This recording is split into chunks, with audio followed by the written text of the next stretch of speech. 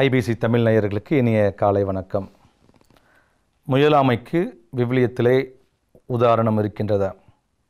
இயேசு தமது ஆழமான அர்த்தமுள்ள பாடங்களை கதைகளாக சொல்லியிருக்கின்றார்.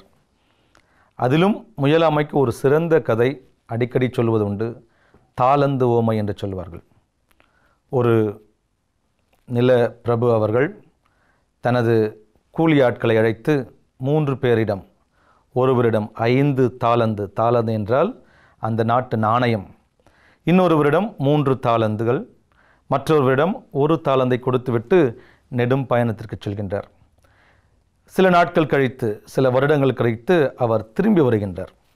வந்தபொழுது கணக்கு கேட்கின்றார் ஐந்து தாளந்து பெற்றவர் தனது கடுமையான முயற்சியினால் அதை இரட்டிப்பாக்கின்றார் அவரை பாராட்டுகின்றார். சிறியவற்றில் பொறுப்புள்ளவராக இருக்கின்றாய் பெரியவற்றிலும் பொறுப்புள்ளவனாக மாற்றுவேன் என்று சொல்கின்றார். மூன்று தாளந்து வாங்கியவர் மீண்டும் ஒரு மூன்று தாளந்தை கொண்டு வருகின்றார். அவரையும் பாராட்டுகின்றார். ஆனால் ஒரு தாளந்தை பெற்றவன் என்ன செய்கின்றான்? எந்த ஒரு செயலிலும் ஈடுபடாமல் எந்த ஒரு முயற்சியும் செய்யாமல் அதை புதைத்து விடுகின்றார். புதைத்துவிட்டு காரணத்தை அவர் அடுக்குகின்றார். காரணத்தை அவர் ஜோடிக்கின்றார். எனவே அந்த ஒரு தலைவர் அந்த மூன்றாவது கூலியாளை கடுமையாக சாடுகின்றார்.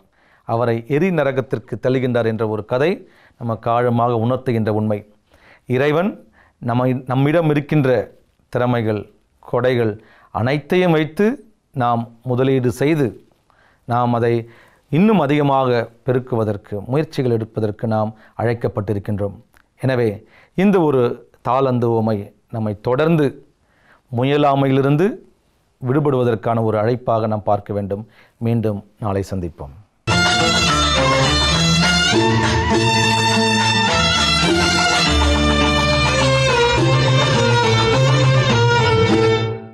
ஐபிசி தமிழ் நேயர்களுக்கு இதயம் கடிந்த இனிய வாழ்த்துக்கள்.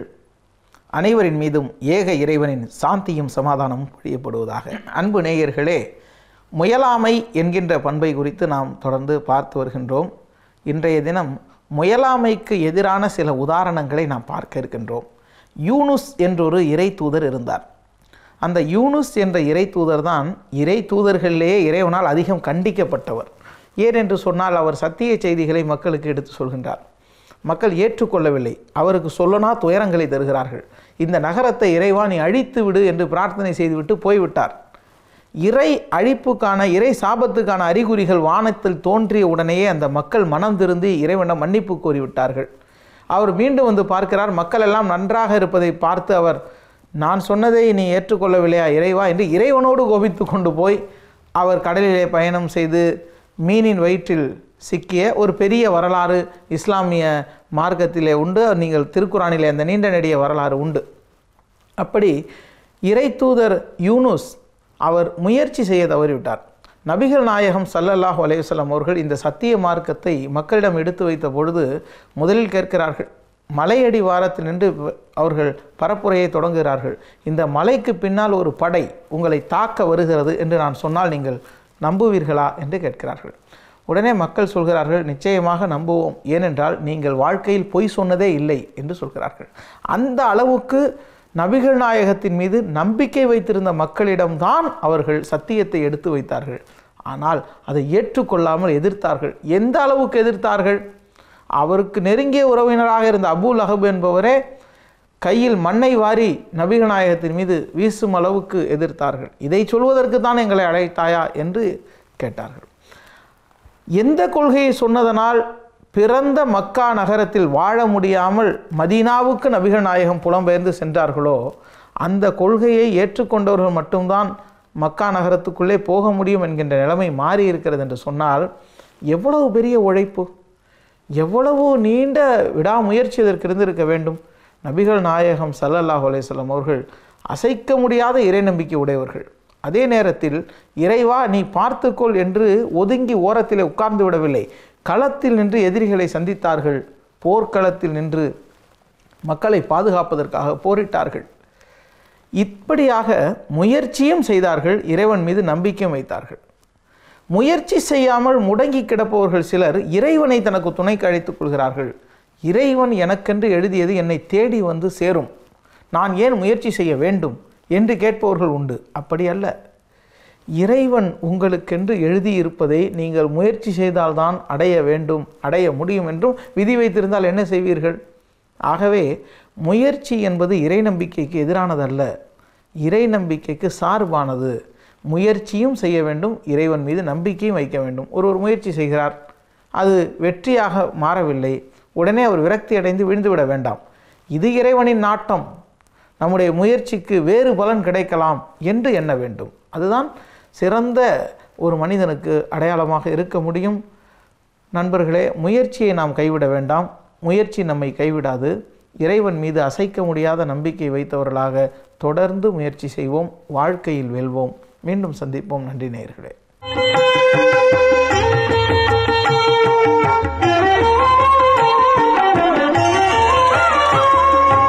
ஐபிசி தமிழ் நேயர்களே இனிய காலை வணக்கத்துடன் ஒரு நல்ல சிந்தனையிலே இப்பொழுது நாம் மூழ்க இருக்கிறோம்.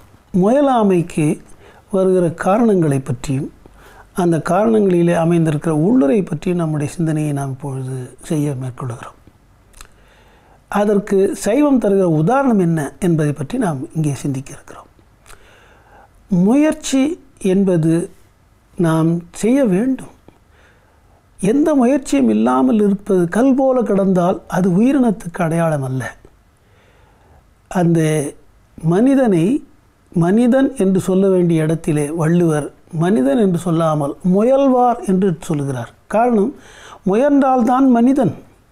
ஆகவே முயல்வாருள் எல்லாம் தலை என்று மிக அழகாக எடுத்து சொல்லுகிறார். இன்னொரு இடத்திலே வேண்டிய வேண்டியாங்கு எய்துதா எய்தலால் என்ன பண்ணணும்? ஈண்டு செய்தவன் முயலப்படும் என்று சொல்லுகிறார். ஆகவே மனிதனாக இருக்கிறவன் முயல்வாருள் எல்லாம் தலையாக இருக்க வேண்டுமானால் செய்தவத்தை முயல வேண்டும் என்று வள்ளுவர் சொன்ன அந்த கருத்தின் அடிப்படையிலே பெரிய புராணத்திலே ஒரு கதையை பார்க்கிறோம். காரைக்காலம்மையாருடைய ஒரு அற்புதமான வரலாறு.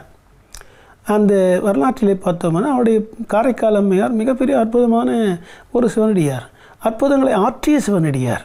அற்புதங்களை ஆற்றும்போது உடனிருந்த கணவன் அந்த அம்மையாருடைய பெருமையை உணராமல் விட்டு விலகி ஓடி விடுகிறான் ஓடிவிட்ட பின்னால் அப்புறம் ஊரார் ஒரு காலத்திலே அவனை பார்த்து அம்மையாரை அழைத்து சென்று உன்னுடைய மனைவி இதோ இங்கே இருக்கிறாள் சேர்ந்து வாழுங்கள் என்று முயற்சி செய்கிறார்கள்.